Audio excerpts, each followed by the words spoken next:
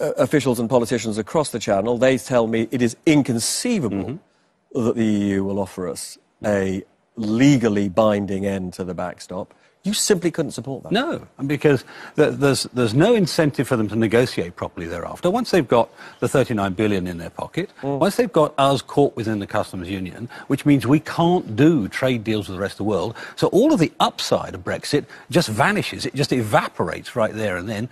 Why should they let us out? We know a number of uh, European Union countries want to punish us for this, want us uh, not to do well. This is a perfect way of doing it.